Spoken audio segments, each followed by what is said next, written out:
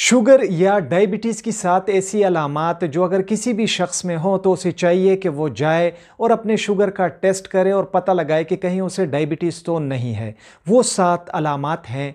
प्यास का बहुत ज़्यादा लगना, भूख का बहुत ज़्यादा लगना बार बार पेशाब के लिए जाना, जिसम का बहुत ज़्यादा थकना, वज़न का कम होना दिन ब दिन, नज़र या बसारत का धुंधला जाना और पैरों के तलवों में ऐसा महसूस होना जैसे सुइयाँ या कांटे चुभ रही हों। ये सात अलामत अगर किसी शख्स में हैं तो उसे चाहिए कि वो जाए और अपने शुगर का टेस्ट करे और पता लगाए कि उसे डायबिटीज़ है या नहीं है।